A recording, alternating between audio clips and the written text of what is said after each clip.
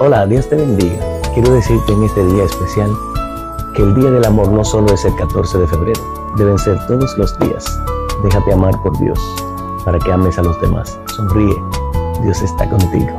Bendiciones. Qué amor tan grande